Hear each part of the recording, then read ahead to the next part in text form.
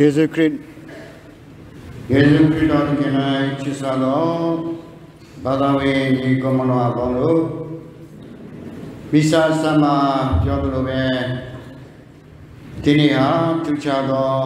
ရည်ရည်ဖြစ်ပါတယ်ဒီထူးခြားတဲ့ရက်မှာကျွန်တော်တို့အားလုံးဒီမှာလာဆုရုံးရပြီးတဲ့နောက်ဘုရားရှင်ကိုကျေးဇူးတင်ခြင်းပဲဖြစ်ပါတယ် စတိကတစ်ချက်ကတော့ဒီဘုရားကျောင်းဆောင်အစ်စ်ပေါ့နော်ဒီဒုတိယဘုရားကျောင်းဆောင်တိဆောက်ခြင်းရဲ့25နှစ်ပြည့်မြောက်တဲ့နေ့ဖြစ်ပါတယ်ဒါပြင်ကျွန်တော်ရဲ့ကျောင်းတိုင်းဖာတဲ့ကျောင်းနောင်ရတိကခံခြင်းရဲ့20ဒါပြင်ဒီနေ့မှာကျွန်တော်ရှင်းမမှာရှိနေသော တာငယ်သမီးငယ်များရဲ့ခရစ်စမတ်အပေးခြင်းစက္ကမန်ဒုက္ခရင်ခြင်းစတိယာရီအားလုံးစုပေါင်းတဲ့အချိန်ခါမှာဒီနေ့ဟာထူးခြားတဲ့ရဲ့ကောင်းကြီးတော်ခံစားရရဲ့ဘုရားရှင်ကောင်းကြီးပေးတော်ရဲ့လို့ကျွန်တော်ဒီနေ့တတ်မှတ်ပါတယ်ဆိုဒီ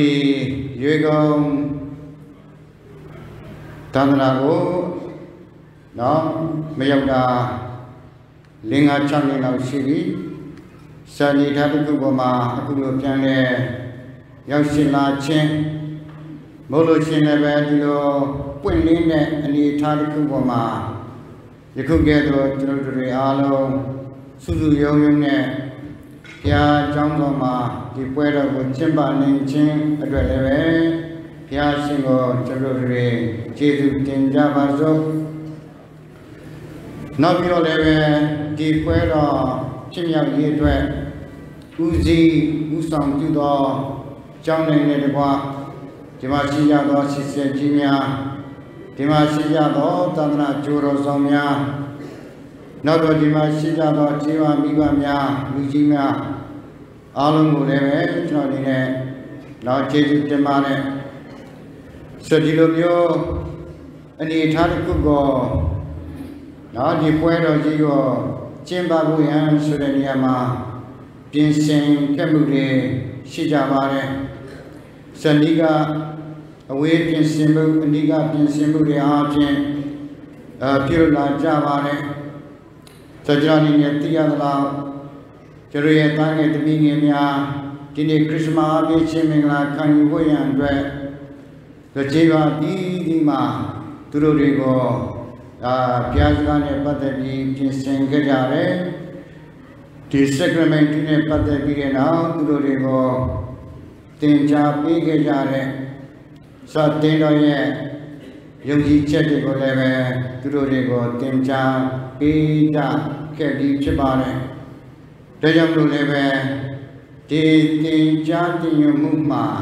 သူတို့တွေဟာအစင်းနဲ့ရှင်းလာကြပြီးတဲ့နောက်ဒီနေ့ဒီချိန်နော်ဒီနိုင်ဒီမှာဒီ sacrament ကိုခံယူဖို့ရန်ရောက်ရှိလာခြင်းပဲဖြစ်ပါတယ်။တဲမလို့ပွဲတော်တစ်ချောင်းနော်ဒီပြင်ဆင်လာခဲ့မှုများအပေါ်မှာဥဆောင်ရပြုသောအကြောင်းနိုင်ငံတကွာနော်တဏှာလူကြီးများအားလုံးကိုလည်းပဲဘွားမြောက်ကုန်ပါတယ်။ ဒါတော့ပထမဦးဆုံးဏိဒာအနေနဲ့ပြောချင်တဲ့စကားပဲဖြစ်ပါတယ်။ဆိုဒုတိယတစ်ချက်အနေနဲ့ကျွန်တော်တို့ဟာဒီဝါရင်းကာလအတွင်းမှာရှိနေပါတယ်ဝါရင်းကာလရဲ့အချိန်ကန့်တတ်ထဲမှာဝါရင်းကာလရဲ့အချိန်ပေါင်ထဲမှာကျွန်တော်တို့တွေရှိနေပါတယ်ဆိုဝါရင်းကာလဟာ ဒီပြာကံပွဲပုဒ်သူနေနော်ကနေစပြီးရအောင်အခုဆိုရင်ဝါရင်းကာလရဲ့ဥပုပ်၄ပါးကိုရောက်ရှိလာပြီဖြစ်တယ်။ရုပ်၄ပါးပြီးတဲ့အခါကျလို့ရှင်ဥပုပ်၅ပါးတိုင်ကိုရောက်မယ်။အဲ့ဒါပြီးတဲ့အခါမှာမြစ်တာပန်းဝေပွဲနဲ့တူတန်ရှင်တော်ရေတသဘာနဲ့ခရစ်တော် ရှင်မြန်တမြတ်ခြင်းပွဲတော်ကိုကျွန်တော်တို့2023ရဲ့ကြီးမြတ်သောပွဲတော်ဖြင့်ကျွန်တော်တို့တွေပါဝင်ကြမှာဖြစ်ပါတယ်ဒီလိုဒီနေ့ဝါရင်းကာလရဲ့ရက်40ကိုကျွန်တော်တို့တွေရှောင်းနှမ်းလာတဲ့အချိန်ခါမှာပထမဆုံးတစ်ချက်ကဆူတောင်းခြင်းစဒုတိယကျွန်တော်အားလုံးကြိုးစားလာကြတဲ့ချွေချံဝါရှောင်းခြင်း စတတိယမြေတတရားလုပ်ငန်းဆောင်ရွက်ခြင်းဒီနေရာမှာအလူဒါနပေးခြင်းဒါဟာဝါရင်းကာလရဲ့မန်တိုင်သုံးခုပဲဖြစ်ပါတယ်ဒီဝါရင်းကာလရောက်လာတိုင်းရောက်လာတိုင်းမှာဒီလိုကတိတင်းတော့ဘုရားရမှာရှိတော့ကဘာရရမှာရှိတော့ကတိတင်းတော့ကိုရဟန်းကြီးယုံတော်ပါနေရှင် နောက်တော့ရှိနေကြသောသန္တရာအတိအကျမှာဒေဝရင်းကာလရဲ့မန်တိုင်သုံးခုကိုအစဉ်အမြဲနှစ်စဉ်နှစ်တိုင်းကျွန်တော်တို့ကိုလို့ဆော်ပါတယ်ဆုတောင်းခြင်းချိုးချောင်းဝါရှောင်းခြင်းအလူဒါနပေးကမ်းခြင်းဒီဟာတွေဟာဝါရင်းကာလပြင်ပမှာတော့ကျွန်တော်တို့မလုပ်ကြည့်ကြဘူးလားလုပ်ကြပါလေ ဝါရင်းကာလမရောက်ခင်ပြန်ကံွယ်ဗုဒ္ဓနေမဝင်ခြင်းကျွန်တော်ဆုတောင်းကြပါတယ်ဒါဒီကြိုးကြဝါကြောင့်ရှင်းလည်းပဲပြုကြပါတယ်အလူဒါနပေးကမ်းခြင်းလည်းပဲတတ်နိုင်တဲ့အတိုင်းအတာအလျောက်ကျွန်တော်ပြုကြပါတယ်သို့တော်လည်းပဲဒီဝါရင်းကာလရက်40ကိုကျွန်တော်ရှောင်းလန်းတဲ့အချိန်ခါမှာ၎င်းအရာများကိုပုံမူပြီးတဲ့နောက် တတိဝိရိယရှိစွာဘုလိုရှင်လည်းပဲပို့ပြီးတဲ့နောက်အင်အားကောင်းစွာနဲ့လှုပ်ဆောင်ဖို့အဲ့ဒါကိုတင်းတော်ကမျိုးစောခြင်းဖြစ်တယ်ဆိုတော့ရက်40ဒီရက်40ဟာဣသရေလမျိုးတွေကနေရနော်ဤဂျစ်ပြည်ကနေထွက်သွားပြီးတဲ့နောက်အဲဒီကန္နရမှာနှစ်40ကြောဖြတ်ခြင်းကိုလည်းပဲကျွန်တော်တို့တတိယရှိတယ် သခင်ခရစ်တော်နော်ရဲ့လေးရက်40နေ့ညနောက်စာရှောင်ခြင်းကိုလည်းပဲကျွန်တော်တို့ကိုတကယ်တရားစေတယ်အခုတော့ပြောတဲ့စိတ်ကြည့်ပြီးမှကနေပြီးတော့ဂျုံဘွားနဲ့လွတ်မြောက်တဲ့အချိန်ခါမှာအဲဒီကံရရမှာနှစ်ပေါင်း40ဣသရာလူမျိုးတွေနော် ရှောင်းလန်းပြီးတဲ့နောက်မှာဂရိထာယကဏ္ဍကြီးကိုသူတို့ဝင်ကြရတယ်။ဒါမှဒီနေ့ပြောချင်တာကဒီ40နှစ်40ရက်40စသည်အရာများတွေဟာကျွန်တော်တို့တွေရဲ့အဓိပ္ပာယ်ရှိသောနော်ကိန်းကဏနံပါတ်တွေပဲဖြစ်တယ်။ဆိုတော့ဒီစိနာယီတောင်ပေါ်မှာမိုးစင်ဟာဣသရေလမျိုးတွေကို နော်ဘုရားရှင်ရဲ့ပြည့်ညတ်တော်ဘုရားလေးပေးဖို့ရန်အတွက်နော်ထာဝရဘုရားနဲ့နဖုတွေပြုတွေနော်တွေ့တဲ့ရက်တွေဟာလည်းပဲရက်ပေါင်း40လို့ပြောပါတယ်ဆိုဒီအရာအားလုံးကိုဒီနေ့ကျွန်တော်ဝါရင်းကလာရဲ့နော်သတ်မှတ်ချက်အနေနဲ့ကျွန်တော်တို့ရှောင်းလန်းလာခြင်းပဲဖြစ်တဲ့ဒါကြောင့်မို့ခုနပြောတဲ့ဆူတောင်းခြင်းချွေကြဝါရှောင်းခြင်း အလူဒါနပေးကမ်းခြင်းစတဲ့အချက်အများအားလုံးကိုကျွန်တော်တို့ဆက်လက်ပြီးတဲ့နောက်နော်ကြိုးစားကပေါ်ဆောင်သွားကြပါစို့ကြိုးစားကမိမိတို့ဘဝမှာအကျင့်ကြံအားထုတ်သွားကြပါစို့ဆိုနောက်တစ်ချက်ကကျွန်တော်ဒီနေ့ပြောချင်တာကကျွန်တော်အားလုံးဟာကတိတင်တော်ကြီးတစ်ခုလုံးနဲ့တွေ့ပြပြီးတဲ့နောက် ခီးသွားနေတော့အသင်းတော်ဓမ္မနိလကံကိုကျင့်ပနေသောအချိန်ဖြစ်တယ်ပြီးခဲ့တဲ့2021အောက်တိုဘာလ10ရက်နေ့မှာရန်ကြီးရုံးတော်ဗာတီကန်ကနေပြည်လာဒီခီးသွားနေသောအသင်းတော်ဓမ္မနိလကံကိုဖွင့်နေခဲ့ပါတယ်အဲဒီကနေဖွင့်နေခဲ့တဲ့ဓမ္မနိလကံဖွင့်ပွဲကနေပြီးတော့ ကျေရုသာနာတီးတီးမှာအောက်တိုဘာ18ရက်နေ့2021မှာကျွန်တော်တွေဓမ္မနီလာကံခီးသွားနေသောဓမ္မနီလာကံကိုကျွန်တော်တွေကျင်းပနေတဲ့အချိန်ဖြစ်တယ်ဆိုတော့ခုလည်းပဲပြောရမယ်ဆိုရင်ခီးသွားနေတော့ဓမ္မနိလကံအဝန်းဝိုင်းထဲမှာကျွန်တော်ရှိနေဆဲပဲဖြစ်တယ်ဒီလာမယ့်2024အောက်တိုဘာမှာမှ ဒီဓမ္မနိလကံပိတ်ပွဲကိုရောမမှာကျင်းပမှာဖြစ်တယ်ဒီလိုဒီနေ့ဒီချက်ကိုလည်းပဲကျွန်တော်အနေနဲ့ဒီမှာရှိကြတော့ညီကိုဘာသာဝင်များသိစေချင်တာကကျွတ်တို့ပြတဲ့တင်းတော်တစ်ခုလုံးဟာဒီခီးသွားနေတော့ဓမ္မနီလာကံကိုကျင့်ပနေတော့အချိန်ကာလဖြစ်တယ်ဒီဓမ္မနီလာကံမှာအချက်၃ချက်ကိုဖော်ပြထားပါတယ် အဲ့ဒီအချက်၃ချက်ကပထမတစ်ချက်ကကောင်းညွန်းညံတနည်းအားဖြင့်နော်ပေါင်းစည်းခြင်းတလုံးပါရီဖြစ်ခြင်းလို့အဓိပ္ပာယ်ရှိပါတယ်ဒုတိယတစ်ချက်ကတော့ participation ပူးပေါင်းပါဝင်ခြင်းတတိယတစ်ချက်က mission တာလနာလုပ်ငန်းဆောင်ရွက်ခြင်းစတိချက်၃ချက်ကိုကျွန်တော်တို့တွေ ဒီပသိငယ်ဥတာလနာတစ်ခုလုံးမှာပေါ်ဆောင်ကျင်းပနေရှိနေပါတယ်ဒီ communion လို့ခေါ်တဲ့တလုံးဝရီရှိခြင်းဆိုကျွန်တော်အားလုံးဟာစီလုံးညီညွတ်ကြရပါမယ်တနည်းအားဖြင့်လည်းပဲပေါင်းစည်းညီညွတ်ကြရပါမယ်တလုံးတဝရီစတိနီယာမှာဒီသာသနာတစ်ခုမှာ ကျောင်းနိုင်တဲ့သူတို့တွဲလုံးနေသောသာသနာကျိုးတော်ဆောင်များကျောင်းနိုင်တဲ့သူတို့တွဲနေသောတိလရှင်များဓမ္မဆရာဆရာမများဘာသာဝင်များအားလုံးဟာဒီစုပေါင်းညီညာစွာနဲ့တလုံးတော်ရင်းနဲ့ပေါင်းစည်းကဖျားရှင်အမှုတော်မဟုတ်လို့ရှင်လည်းပဲဖျားရှင်ရဲ့ဒေသနာတော်ကိုတက်တည်ခံခြင်းဝေမျှခြင်းပြုလုပ်ကြမှာဖြစ်တယ်။ ဒါတော့ပထမတစ်ချက်။ဆိုဒုတိယတစ်ချက်က participation နော်ပူပေါင်းပါဝင်ခြင်းဆိုကြေးရွာဆိုလေကြေးရွာအလျောက်သာသနာဆိုလေသာသနာအလျောက်မိသားစုဆိုလေမိသားစုအလျောက်တတိပုဂ္ဂလကိုယ်အနေကိုတိတိချာချာနေခြင်းမြည်သူနှိမမပေါင်းမပေါ်ရဲနဲ့ကိုယ်အနေကိုယက်တီလို့ခြင်းမဟုတ်ပဲနဲ့ ဒီခီးသွားနေတော့တင်းတော်ဓမ္မကြီးလာကံအချိန်ကာလမှာဒီအချိန်ကာလအလွန်မှာကျွတ်တွေအားလုံးနော် participation လို့ခေါ်တဲ့ပူးပေါင်းပါဝင်ခြင်းပူးပေါင်းပါဝင်ဆောင်ရွက်ခြင်းစတဲ့အရာတွေကိုကျွန်တော်တို့ပြုလုပ်ကြမှာဖြစ်တယ်။ဇောမိသားစုတစုတဲ့တစုအပူပေါင်းပါဝင်ဆောင်ရွက်ခြင်းစသာသနာတစ်ခုနဲ့တစ်ခု ပူပေါင်းပါဝင်ဆောင်ရွက်ခြင်းစတရားအဖြစ်မိမိတို့ရဲ့ခရိယံဘဝတက်တာကိုဖော်ဆောင်သွားဖို့ရန်အတွက်အတင်းတော်ကတိုက်တွန်းလို့ဆိုခြင်းဖြစ်ပါတယ်။စနောက်ဆုံးတစ်ချက်က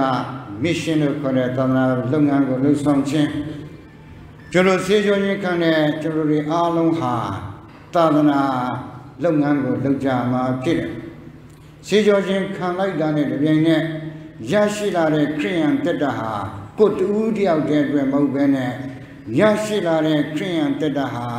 သူများတွေကိုတက်တဲ့ခံဖို့သူများတွေကိုအများသူတွေကိုအကျိုးပြုဖို့အတွက်ဖြစ်တယ်။ဆိုဒီနေ့ဒီမနေ့မှာလည်းပဲရှိရခြင်းမင်္ဂလာဟုသမကနော်ခရစ်တော်အဘိရှင်မင်္ဂလာကိုခံယူကြမယ်။တောင်းငယ်သမီးငယ်များအားလုံးတွေဟာလည်းပဲခရစ်တော်ရဲ့နော်ရဲရှင်သောတက်တည်ကံများဖြစ်ပေါ်ရန်အတွက် နော်ဒစိတ်ခဏိချင်းခံရမှာဖြစ်တဲ့တနည်းအားဖြင့်ကျေးဇူးတော်ခံရမှာဖြစ်တဲ့တရားမလို့ရရှိလာတဲ့ကျွန်တော်တို့ခရိယံဘဝတက်တာဟာသာသနာလုပ်ငန်းကိုလှုပ်ဆောင်ဖို့ဖြစ်တယ်ဒီသာသနာလုပ်ငန်းကိုလှုပ်ဆောင်နေဆိုတဲ့နေရာမှာဘုံရန်ဖြစ်ခြင်းနာတိလရှင်ဘရဒများဖြစ်ခြင်း sister brother များဖြစ်ခြင်းဓမ္မဆရာဆရာမဖြစ်ခြင်း ဒါတွေကတော့ခေါ်ရမှုချင်းကဏ္ဍတစ်ယောက်ဖြစ်သွားဖြစ်ကြတယ်သို့တော်လည်းပဲကျွန်တော်တို့နေထိုင်သောမိသားစုကျွန်တော်နေထိုင်သောအကျေးဝါဒီမှာလှုပ်ဆောင်နေသောသန္တနာလုပ်ငန်းဒါအပြင်ကောင်းမြတ်သောဗာလိုက်လုပ်ငန်းများတွေမှာပူပေါင်းပါဝင်ဆောင်ရွက်ခြင်းလှုပ်ဆောင်ခြင်းဟာသာသနာတို့ရဲ့လုပ်ငန်းတွေကိုလှုပ်ဆောင်ခြင်းပဲဖြစ်တယ်။ ဒါမလို့ဒီအချက်တွေကိုလည်းပဲဒီနေ့နော်ကျွန်တော်တို့ဒီပွဲတော်ကိုကျင်းပတဲ့အချိန်ခါမှာနော်ဖော်ပြကျင်းပါတယ်။ကျွန်တော်ဒီချက်ကတော့ဒီနေ့ကျွန်တော်ဖတ်သွားခဲ့တဲ့ကျမ်းချက်တွေကိုကျွန်တော်ထောက်ရှုကြမယ်ဆိုရင်ဆိုထွေးမြေရာကျမ်းခန်းကြီး30နှစ်ခန်းငယ်9ကနေ14မှာမိုးစရာဣဇာလူမျိုးတွေရဲ့အတွက် ဖျားသခင်ရဲ့အမျက်တော်တင့်ချင်းမှနေပြီးတဲ့နောက်တောင်းပန်တယ်စဒီနီယာမှာဘာတွေ့ရလဲဆိုလို့ရှိရင်ဣဇာလူမျိုးတွေဟာအီဂျစ်ပြည်ကနေထွက်ခွာသွားပြီးတဲ့နောက်ခုနကပြောတဲ့နှစ်40ခန္ဓာကိုသူတို့ကြော်ဖြတ်တဲ့အချိန်ခါမှာသူတို့တွေဟာဖျားစကားကိုနားမထောင်ကြတဲ့အချိန်နဲ့ကြုံလာတယ်။တနည်းအားဖြင့် ဘုရားရှင်အပေါ်မှာထားရှိရမယ့်ဝတ္တရားများတွေကိုသူတို့တွေကပြက်ကွက်လာကြတယ်။ရှိတ်ကကြတော့တာဝရဘုရားဟာမိုးစင်အားဖြင့်ဒီပုဂ္ဂိုလ်တွေဟာဘုရားရှင်ရဲ့ကောင်းမြတ်ခြင်းကိုမိလျောင်တဲ့ပုဂ္ဂိုလ်တွေဖြစ်တဲ့ဒီပုဂ္ဂိုလ်တွေကိုနော်တနည်းအားဖြင့်ပြောရမယ်ဆိုရင်ဒီပုဂ္ဂိုလ်တွေကိုဆုံးမမယ်ဒီပုဂ္ဂိုလ်တွေကိုဟာပေါ့ ဟိုဒဏ်ခမယ်ဆိုရင်လိုမျိုးပြပြောလာတဲ့အချိန်ခါမှာမိုးစင်ဟာကိုရောကိုရောရဲ့လူမျိုးတော်ကိုတနာတော်မူပါဒီပုဂ္ဂိုလ်ဒီလူမျိုးတော်တွေဟာကိုရောရွေးချယ်သောလူမျိုးတော်ဖြစ်ပါတယ်သူတို့ရဲ့အပြစ်မှားများအတွက်ကိုရောတန်ခရမမူပါနဲ့ဆိုပြီးတောင်းပန်နေဆိုတဲ့အကြောင်းကိုပထမကျမ်းမှာကျွန်တော်တွေ့ရတယ်နောက်တော့ဆာလံ105မှာကျတော့ ကိုတော်ရှင်ရဲ့မေတ္တာတော်မှာတဲ့ကျွန်တော်ကိုတော်ရှင်ကိုတော်ရှင်ရဲ့မေတ္တာတော်မှာတပည့်တော်ကိုတတိယတော်မူပါဆိုပြီးတောင်းဆိုထားသောဆာလံဖြစ်တဲ့ချက်တခါအင်္ဂလိပ်ကျမ်းကိုကျွန်တော်ကြည့်လိုက်တဲ့အချိန်ခါမှာမိုးစဲနဲ့တခင်ခရစ်တော်နော်ရဲ့နန်းရှင်ချက်ကိုကျွန်တော်တွေ့ရတယ်ဓမ္မောင်ကျမ်းမှာမိုးစဲဟာ နော်ခုနပြောတဲ့ဣဇာလူမျိုးတွေကိုတကယ်ကိုကယ်တင်ခဲ့တဲ့ပုဂ္ဂိုလ်ဖြစ်တယ်ဆိုတော့ဓမ္မတိမှာမိုးစဲအတိလို့ကျွန်တော်ခေါ်တဲ့တခင်ခရစ်တော်ဟာဣဇာလူမျိုးအစ်ဖြစ်တဲ့ကျွန်တော်တို့တွေအားလုံးကိုကယ်တင်တော်ပုဂ္ဂိုလ်ဖြစ်တယ်ဒါကြောင့်မလို့ယူလူမျိုးများတွေဟာမိုးစဲကိုလက်ခံတယ်ဆိုလို့ရှိရင်တခင်ခရစ်တော်ကိုလည်းပဲလက်ခံရလိမ့်မယ် တခင်ခရစ်တော်ကိုညှင်းပယ်ခြင်းဟာမိုးစဲကိုညှင်းပယ်ခြင်းပဲဖြစ်တယ်ဆိုပြီးဒီနေ့တန်ရွာခန်းကြီး9မှာခင်ခရစ်တော်ဟာယူလူမျိုးတွေကိုနောက်ဒီမှာရှိရတဲ့နော်တရားနာပိဋကနောက်မှာရှိရတဲ့ဂျူးလူမျိုးတွေကိုပြောတော့စကားဖြစ်ပါတယ်ဒီလိုဒီချက်တွေအားလုံးပေါ်မှာကျုပ်တို့တွေအားလုံးလည်းပဲကိုတော်ရှင်ရဲ့တရားတော်ကိုလက်ခံခြင်းကိုတော်ရှင် ပေးတော်မူသောစုကျေးဇူးတော်များကိုလက်ခံခြင်းအပြင်ဓမ္မတိနဲ့ဓမ္မဟောင်းပူပေါင်းပြီးတဲ့နောက်ကျွန်တော်တို့တွေလက်ခံယက်တည်ခြင်းဖြစ်လာပါတယ်။ဒါမလို့ဒီနေ့နောက်ဆုံးအနေနဲ့ဒီမှာရှိကြသောတန်ငယ်တမီငယ်များသာသနာရဲ့အနာဂတ်မျိုးဆက်တင်များဖြစ်ကြတယ်ကျွန်တော်ရဲ့သာသမီများဒီနေ့ ဒီခရစ်စမတ်ပေးခြင်းမင်္ဂလာကိုခံယူကြမှာဖြစ်တဲ့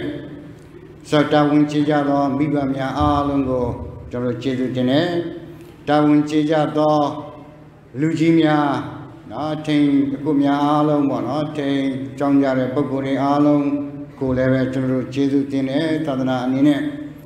ဆိုဒီပုဂ္ဂိုလ်များတွေဟာ27ရာစုရဲ့တာငယ်သမီးငယ်တွေပဲဖြစ်တယ် ဆိုဒီအသက်အရွယ်ကနေပြီးတော့နောက်ထပ်9နှစ်ဆိုလို့ရှိရင်ဒီလူတွေဟာတိပညာကျွဲဝသောပုဂ္ဂိုလ်တွေဖြစ်လာကြမယ်နောက်ထပ်9နှစ်မဟုတ်ဘဲနဲ့နောက်ထပ်10နှစ်ဆိုလို့ရှိရင်ဒီလူတွေဟာဒီ27ရာစုတနည်းအားဖြင့်ရေကုန်းတန္တနာကိုနော်အကျိုးပြုမလူငယ်လူကောင်းများဖြစ်လာကြဖို့ဖြစ်ပါတယ်ဒါကြောင့်မလို့ချိန်နာကြီးတွေဟာနော်